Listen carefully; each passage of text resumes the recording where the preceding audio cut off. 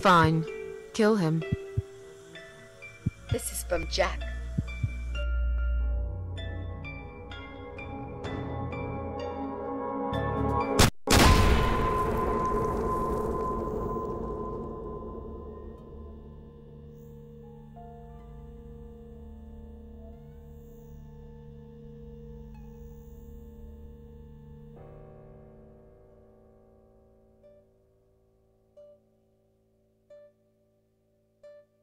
It's me, again, talking about my ordinary little life, as usual.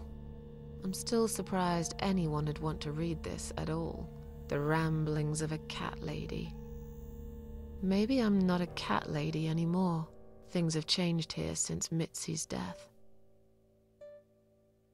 She made a terrible mistake by letting her hatred take over. Whatever time she had left, she lost it right there when she pulled the trigger. It was Adam's final victory. He wanted to die, after all, but he also managed to take one more soul with him. I was lucky, for once. Hardly even got injured. The explosion just swept me out of that room, and I stayed alive. I wish I was able to stop Mitzi, to talk her out of it, but I didn't. I'm not sure if I'm more angry with her for firing that gun, or with myself for failing to save her. I still miss her though, every day. Did I ever mention I got into all this because of her? I opened her laptop six months later, and there it was a friend request. Something I forgot about a long time ago. A little gift from behind the grave. I met some people. We go out sometimes, and I'm not alone anymore. It turned out there were others who felt like I did.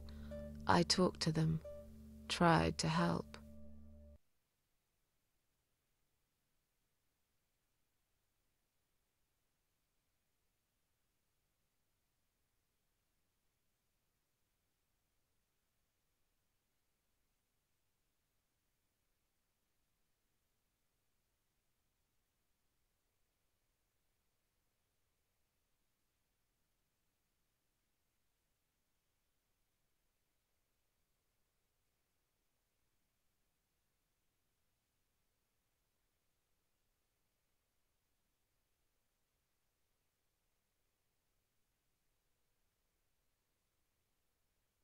And now I'm writing this blog.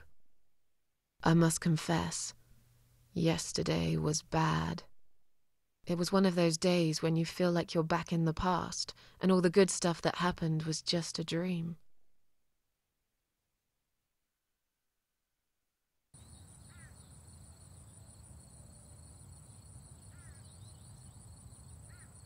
But I woke up today, feeling better. Maybe I can never get rid of it. This invisible illness.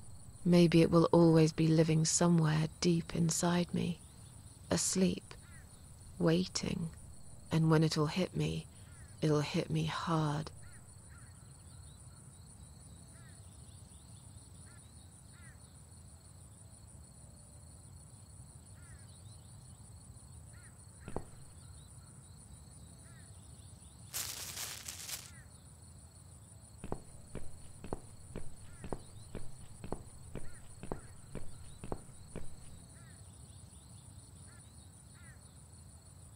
But if there's one thing Mitzi taught me, it's that you have to pick yourself up and carry on.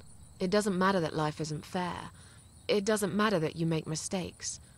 You fall and rise again. Worlds full of liars, traitors, cowards. But every now and then, you meet someone like Mitzi, who will just smile at it all. Now, I've forgiven the world and myself too. I teach myself to smile again.